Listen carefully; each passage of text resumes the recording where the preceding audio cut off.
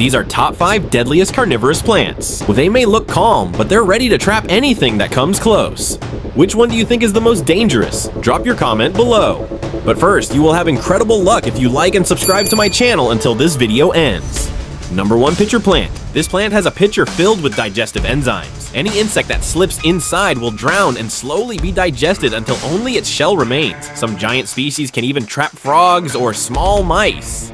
Number 2 Venus Flytrap. Its leaves look like jaws with tiny hair sensors. Once a bug touches them twice, the trap snaps shut in seconds, locking the prey inside to be digested.